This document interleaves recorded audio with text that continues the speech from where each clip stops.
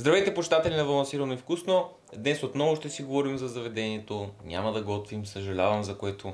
Просто наистина нямам абсолютно никакво време. През миналите няколко дни бях чистачка, бях миячка, бях парочистачка, бях абсолютно всичко, за което може да се сетите и съдържа думата чистачка. Основното чистене на кухня е наистина брутално трудно. Трябва да търкаш зверски много и общо взето не е най-приятното занимание, но Другия вариант е да извикам фирма, която нищо да не направи, да ми вземе 1000-2000 лева и накрая пак аз да си го изчисти. По-добре една седмица да си го направя аз и да знам, че е добре, отколкото да го направят за един ден, да ми вземат парите и после пак да прекарам една седмица в чистене.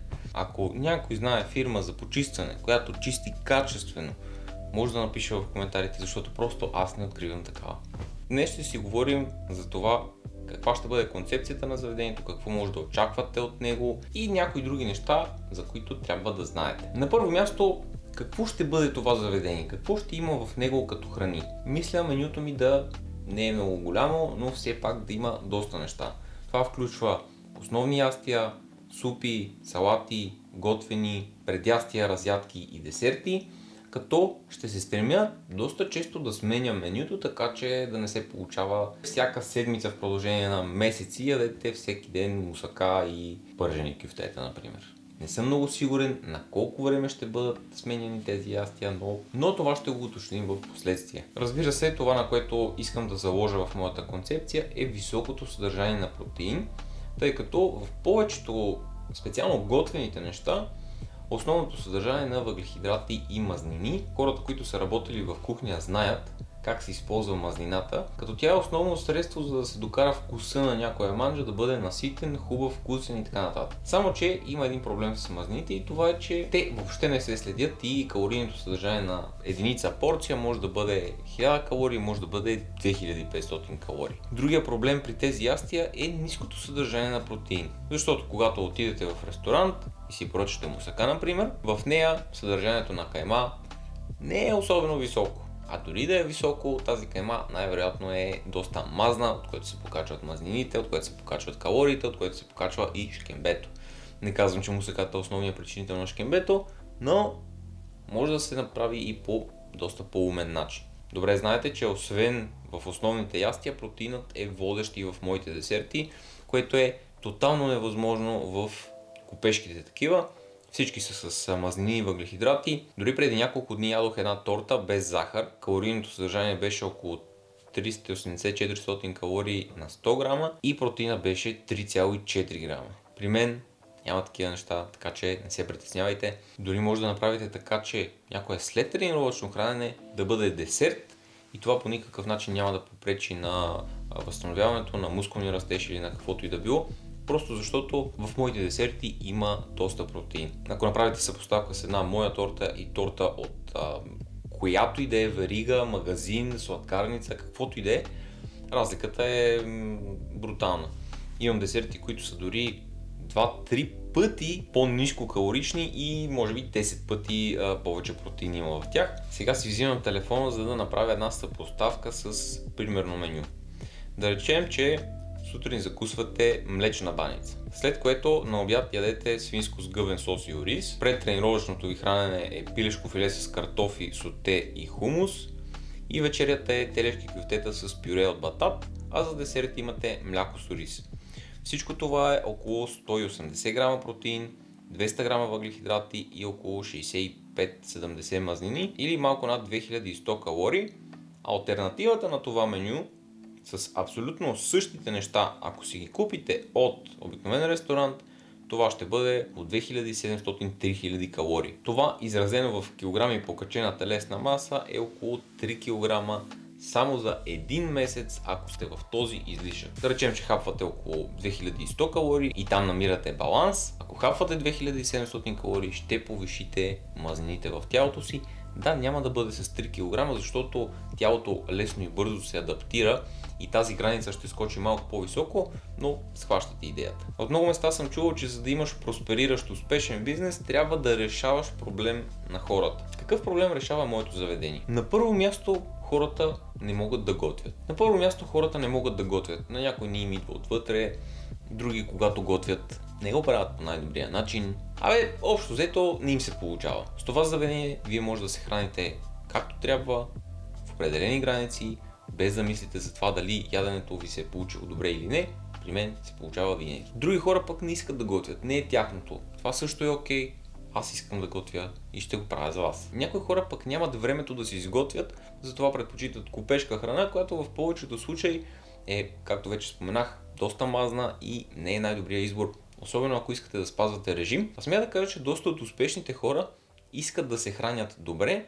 и затова бих избрали услуга, която е подобна на моята. Друг голям проблем е, че дори ако можете, ако знаете как и имате времето да се изготвите, малко трудно пресмятате калориите за една порция. Това е защото слагате зеленчуци, подправки, мазнини, месо, всякакви щуроти вътре и когато дойде време да го разделите на порции, вие нямате абсолютно никаква представа в тази манджа колко порции има, какви калории са, протеини, макроси. Давай пълна лудница. Затова аз съм тук, за да се погрижа и за това. Всяка порция ще бъде пресметната и въпреки, че не можем да сме абсолютно точни в това какви калории има в даденото ястие, мога да ви гарантирам, че аз ще направя най-доброто, така че да пресметна с най-голяма точност. Дори да имате време, умения и всички неща, които споменах до сега, някои хора просто нямат продуктите, с които аз най-често работя. Да речем, че едно обикновено домакинство няма протеинова пудра, ксантанова гума, кокосово брашно и всички тези подобни неща, които използвам често. И не им се купува 1 кг протеин на прах, само за да си направят някакъв десерт там или трудно намират някои от продуктите, които вече споменах. Това също отпада като тревога, така че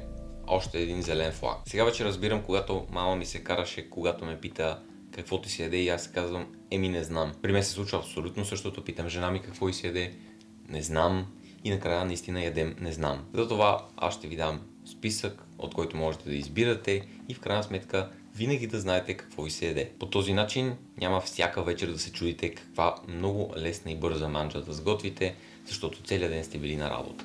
Има обаче и други хора, които предлагат подобна услуга и с какво съм по-различен аз. На първо място не съм виждал до сега поне някой, който да ми даде макроси и калории за една порция мусака. Не се случва това нещо. Дори да има такова място, цифрите определено няма да ви харесат и една порция вместо 400-500 калории може да отиде до към 1000, ако не и малко повече. При мен, освен че ще има готвени ястия, основни дрън-дрън-дрън, тези, които споменах вече, ще бъде изготвено с много намалено съдържание на мазнини, плюс това ще има и посочени макроси и калории. Както вече споменах, много е трудно да Както вече споменах, много е трудно да изчислите калориите за дадено ястие, но поне това, което зависи от мен, аз ще го направя по най-добрия начин и в това може да сте сигурни. Друго предимство, което имам пред останалите е, че аз имам персонално отношение към хората, с които работя, а това почти никъде няма да го намерите като отношение. Виждал съм, клиентите минават като на конвейер и не се интересуват от нищо друго. Да речем в една мусака някои хора слагат чубрица, други не искат да има. Може ли да се направи това нещо? Аз ще взема в предвид нещата, които обичате и не обичате. Разбира се, не мога да се съобразя с всяко едно желание на клиентите, но ще направя всичко възможно така, че те да се почувстват специални и да получат точно това, което искат. Друго огромно преимущество, което някои могат да го сложат и като недостатък, е, че ще бъдат поръчвани менютата ден, два по-рано и ще имам точна бройка на хората, които ще се хранят при мен. По този начин винаги ще мога да пазарувам пресни плодове, зеленчуци, месо, риба, яйца и така нататък. Така храната няма да остава и няма да се чудя на кого да я пробутам и да я претопля и така нататък. Ще се справя и с един според мен много голям проблем и то е изхвърлянето на храна, което за мен е абсолютно разхищение и искам да го сведа до абсолютен минимум, пък ако има повече храна, просто ще я изям. Има много места, на които можете да хапнете диетично, но хората имат малко различна представа за това кое е диетично и кое не.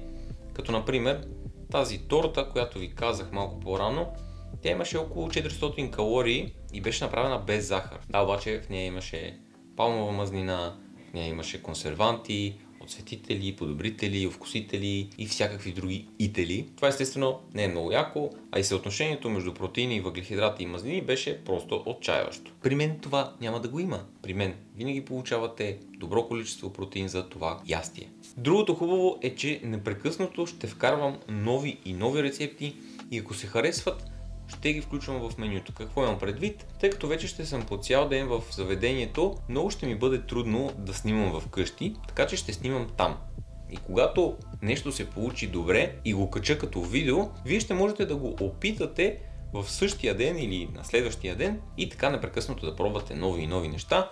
А ако наистина е топ рецептата, разбира се ще я включа и в менюто. Още едно предимство е, че бюджетът ми за реклама ще бъде значително по-малък от това на конкурентите, тъй като, тъй като те нямат платформата, която аз имам с този YouTube канал, където различни хора могат да ме видят, да научат за мен и по този начин да ми станат клиенти. Респективно това би се отразило и в цената, защото съгласете се, доста често плащаме за маркетинга на различни фирми и компании, което не че е лошо, просто понякога е излишно. И дори мога да ви дам пример с една от компаниите, които се грижат за доставки. Заради нея вие плащате между 20 и 40% по-скъпа храна. Тук не говорим дори за доставката.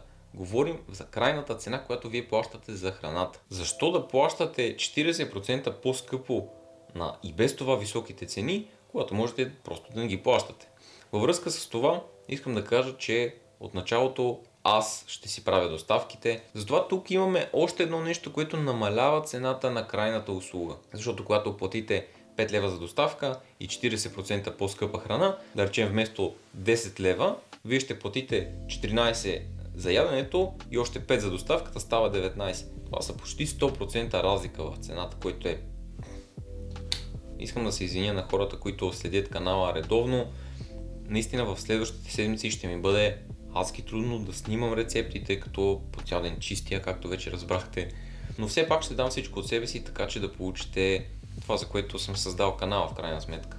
И днес, въпреки че е неделя и хората си почиват, аз те първа снимам това видео, сега ще снимам още едно, после ще ги обработвам и днес трябва да кача това видео. Така че приключвам в този момент. Благодаря, че гледахте. Чао и до следващия път, когато иде той.